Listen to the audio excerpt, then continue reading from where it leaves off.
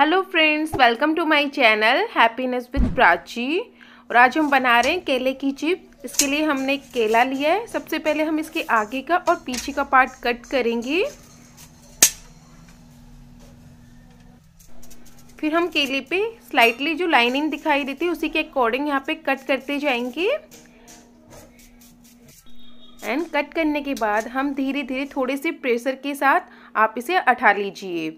अगर आपको थोड़ा सा चिपचिपा लगता है तो आप अपने हाथों पे ऑयल लगा सकते हैं। अब हम केले को थोड़ा सा टेढ़ा करके कट करेंगे, क्योंकि इससे क्या होगा कि जो शेप होगी ना चिप्स की, वो बाज़ार की जैसे शेप मिलेगी, गोल नहीं बनेगी। तो इस तरीके से आपको थोड़ा सा टेढ़ा करके इसे कट करना है। एंड हम जो चिप्स के लिए बनाना लेते हैं, उसे केरला बनाना चिप्स बनाना या सूरती बनाना भी बोलते हैं, ये मार्केट में आपको इजीली मिल जाएगा।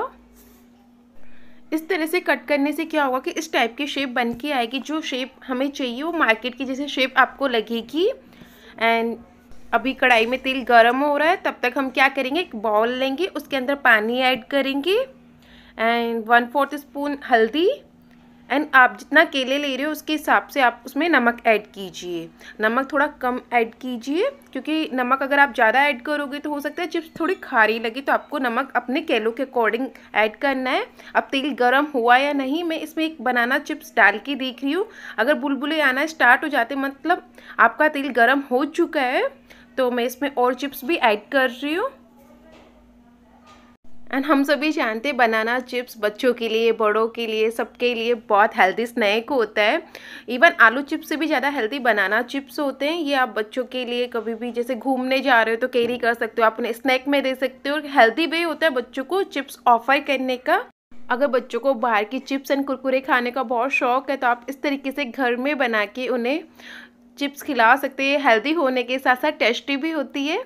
तो आप लोगों को भी बहुत पसंद आएगी बच्चों के साथ साथ तो आप इसे बना के एयर टाइट कंटेनर में स्टोर करके रख सकते हो।